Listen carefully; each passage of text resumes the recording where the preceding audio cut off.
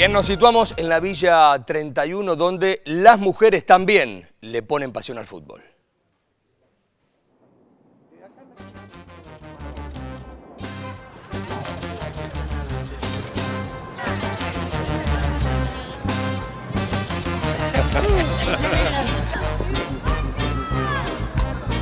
En nuestra sociedad el fútbol está instalado como el deporte de todos y en el barrio de Retiro la Villa 31 no es la excepción.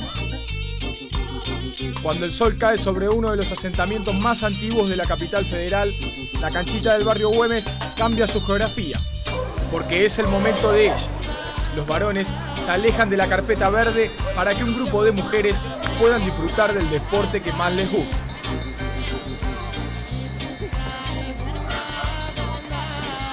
existe una, gran pasión por, un deporte que yo creo que es central en la vida de los argentinos, que constituye mucho de la identidad nacional y que nosotras no estamos afuera de eso, eh, no somos simplemente espectadoras, queremos jugar un juego que nos apasiona y queremos ser protagonistas del juego.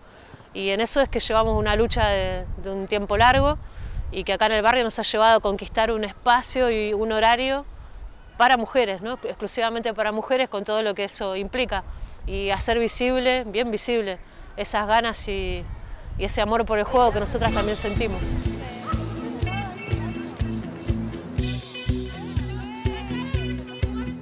El programa Goles y Metas no solo se resume a la pelota, sino que ayuda a más de 40 mujeres que lo componen a generar un espacio de participación y a la obtención de herramientas para el desarrollo personal.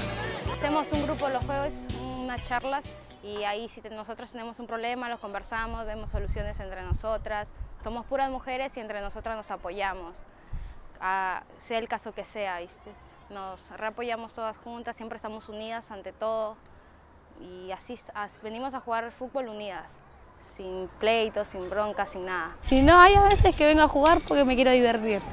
Cuando tengo bronca, voy a otro lado, grito, pero el fútbol me sirve para venir, quedarme de risa, eh, para muchas cosas. Y después es un rato de juego, ¿no? Jugar eh, nos gusta a todos y parece que las mujeres esto lo tenemos un poco negado, ¿no? Que el ocio o el placer por el juego no nos viene dado, ¿no? Lo, tenemos, lo tenemos que conquistar. Ellas también ven en el fútbol la posibilidad para salir adelante.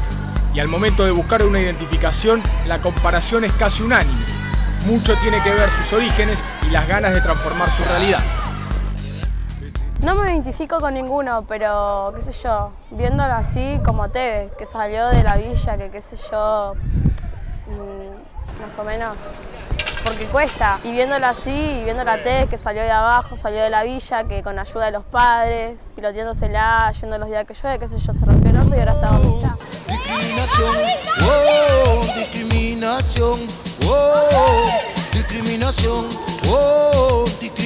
En algunos casos, la discriminación y la indiferencia se hacen sentir por entrar en un mundo que se supone solo está reservado para los hombres. Vamos a bailar Yo creo que, que hay eh, mandatos y cuestiones que funcionan en la cultura que no están escritas en ningún lugar, que no hace falta escribirlas porque simplemente están puestas, ¿no? Y desde siglos, en pensar que las mujeres no... hay deportes o o situaciones que no podemos cumplir ni atravesar porque se considera que físicamente somos inferiores, porque no sabemos jugar también como los varones.